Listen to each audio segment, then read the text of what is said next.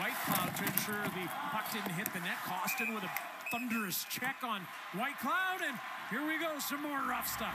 Yeah, it was a slash by Whitecloud, heavy hit by Kostin. He gives him a slash, and he comes right back as they are now engaged, and the gloves are off.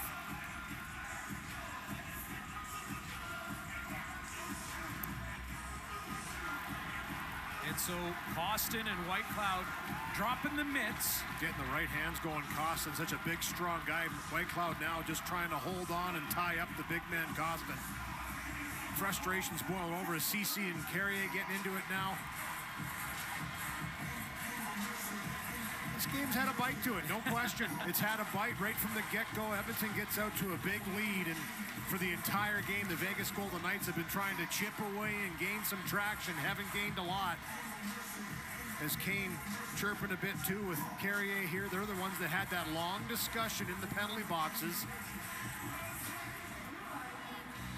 And it was Kevin Bieksa in the intermission saying, well, the Oilers don't have Semenko or McSorley or those names or DeBrusk anymore, but it's it's a much tougher team than it was in the past few seasons, wouldn't well, you say, Louis? And by design, Klim Kostin acquired from St. Louis, Desharnais brought up from the American Hockey League, Evander Kane, why he was signed and brought on board. This is the reason. You get into playoff hockey, Nick Bjugstad, six foot six. You're going to get into situations like this where it's going to be a grind, and Whitecloud didn't like that hit delivers the slash, and then they come together, and then everybody, and this is what it's all about. Even Adin Hill, who's a big guy, gets involved with Evander Kane, who seems to be in the kitchen of every Vegas Golden Knight right now.